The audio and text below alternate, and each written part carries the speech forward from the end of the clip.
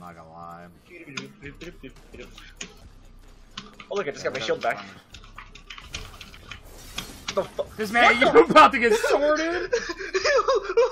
what the fuck? What is he? That's that's a big no-no right there.